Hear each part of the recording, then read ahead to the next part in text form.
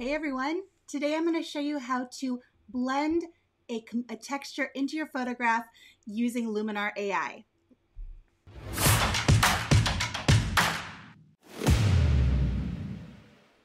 Hello and welcome to Luminar Coffee Break. I'm Angela Andrieux and today I want to show you how to add and blend a texture into a photograph using Luminar AI. Let's go ahead and get started. Up on the screen I have a really cool shot that was captured by one of the photographers we work with, Nicole Young, and it was captured at a brewery. And you can see the brewer has the glass in his hand, raising it up there to look at the quality and the consistency of the light coming through the beverage. And I felt like it needed a little something extra to really make it pop. And I decided adding in a texture that had a bit of a bokeh background would be a really cool touch. I'm going to start with a quick edit using a template, and then we'll jump over to our local masking tool to add that texture. I'm going to go to the scenery category in my templates and use one of my favorites here, clean, clear and sharp. And you can see it just added a little bit of extra definition to the photo and gives us a better starting point. From there, I'm going to click over to the edit tab and we're going to jump straight over to our local masking and go to add texture. We'll give that a second to load up. All right.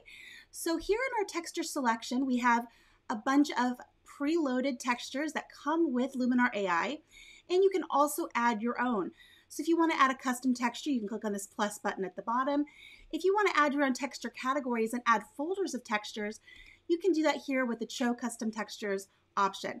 I'm going to go into this in far more detail on Thursday. So if you're interested in learning how to better organize your textures, make sure you jump in for that episode as well. For now, for today, we're going to use one of the built-in textures that I really like, and that's this one here. It's called Night Blues. Now you notice that effect is very subtle, and that's because if we click out of that window, we notice that the opacity is automatically set at a default of 50%. I'm gonna go ahead and pull that all the way up to 100 so we can get a better idea of what's happening. Next thing we're gonna do is click into our advanced settings and take a look at what we have going on here. So you'll notice that we have um, the blend mode is automatically set to screen. In order to better see what's going on here, again, I'm gonna switch this to normal. Now you'll notice this texture does not have any um, transparency to it. It completely obscures our image.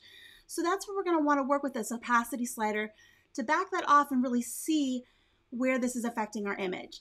Now I love this bokeh that's coming through, but it's really not placed where I want it. We can manually place it using place texture, and that's like a free transform tool that allows you to manually resize and place your texture. But for this image, we actually have a couple of quick shortcut buttons here to flip it right to left and top to bottom. And I really like where it is here with the top to bottom. I think that works really well.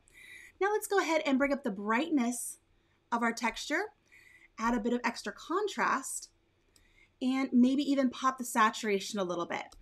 Now it's obviously too dark, it's obscuring too much of our photo, so I'm gonna back that opacity down quite a bit and I actually really like it right about there.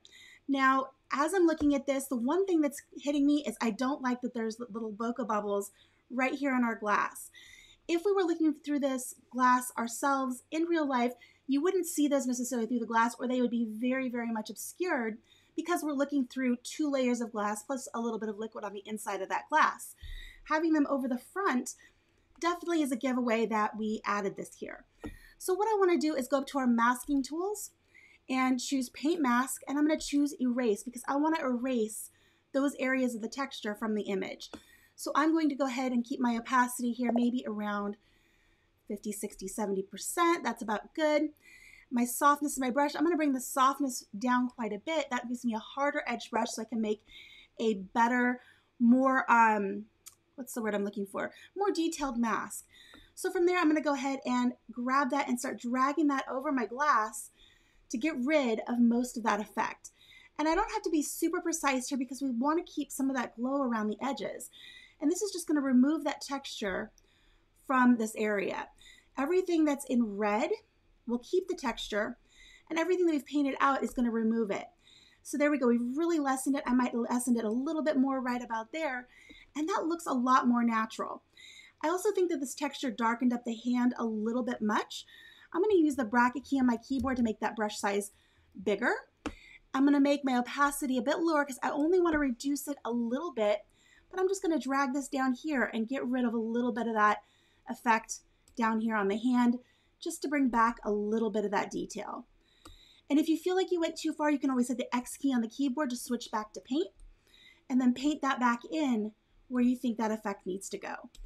All right, let me take a quick look here at the chat and at the comments and see. Hey, Jerry. Hello, Harry. Uh, Belginder, glad to see all of you here today. Uh, Belginder has a question. How to remove any textures photo? I have a few random photos from outside for double exposure, but can't remove it from the texture bundle. So if it's one of the ones that is built in, you can't erase those.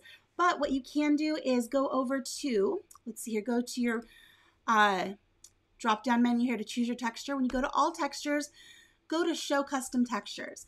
If you purchase textures or you have your own custom textures, you can go ahead and remove them from this folder and that will remove them from Luminar AI. We'll go into this a little bit more in depth on Thursday when we talk about how to organize and keep your um, textures accessible for when you need them. All right, with that, I hope you guys enjoyed this. Let's take a quick look here at our before and our after. And you can see that adding that background added a bit of color, it added a bit of whimsy, and I really, really like the effect, and I hope you guys do too. If you have any questions, make sure you pop them into the comments below.